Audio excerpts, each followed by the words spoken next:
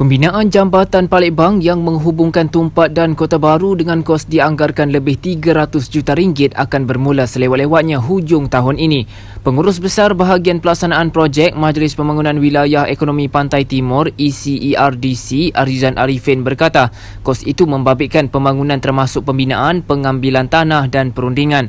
Menurutnya ketika ini proses akhir penilaian membabitkan jambatan sepanjang lebih 4 km itu sedang dibuat dan tender pelaksanaan projek dijangka dibuka Oktober depan.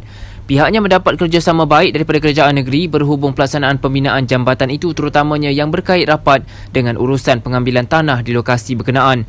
Katanya pembinaan jambatan empat lorong itu bukan hanya mampu menguraikan aliran trafik bagi mengurangkan kesesakan lalu lintas, malah memberikan impak besar terhadap ekonomi penduduk setempat. Beliau berkata demikian ketika ditemui selepas meninjau pelaksanaan projek pembinaan Masjid Kampung Laut di Tumpat pada Rabu.